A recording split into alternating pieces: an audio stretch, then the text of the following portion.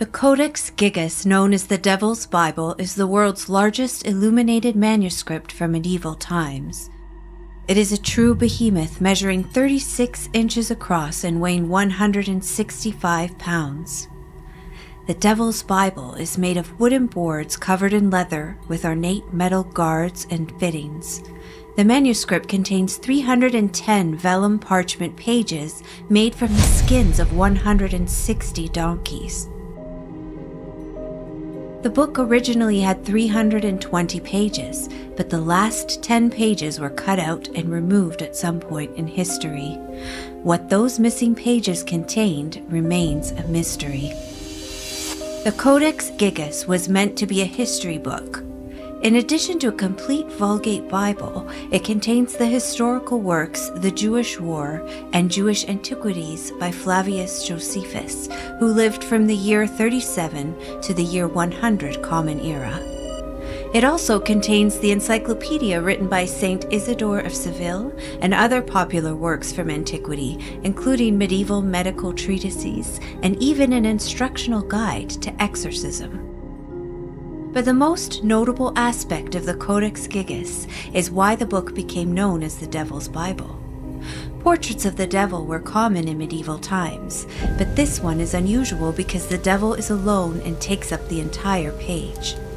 The devil crouches and faces forward, looking the viewer in the eye he has red horns and claws and is wearing a loincloth made of ermine, which is traditionally worn by royalty and alludes to the devil's role as the Prince of Darkness.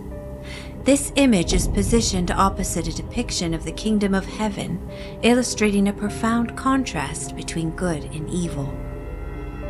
There's an extraordinary legend attached to this manuscript's creation a monk was found guilty of breaking his vows, was sentenced to be walled up alive.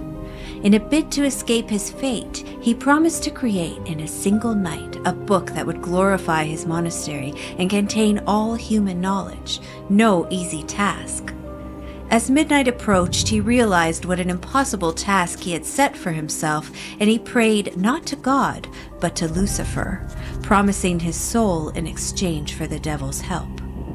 As the legend goes, the devil finished the manuscript, and the monk added the devil's portrait out of gratitude. Modern science has lent some weight to the monastic legend, too. Testing has shown that the nature of the writing remains consistent throughout the Codex Gigas, showing no signs of age, disease, or even mood changes as if it was written in one sitting. However, scientists estimate that reproducing only the calligraphy without the illustrations or embellishments would have taken 20 years of non stop writing. Despite the many myths and legends surrounding the Devil's Bible, it is unknown who wrote it, but scholars believe it was the creation of a single person, most likely a monk living in Bohemia, today a part of the Czech Republic.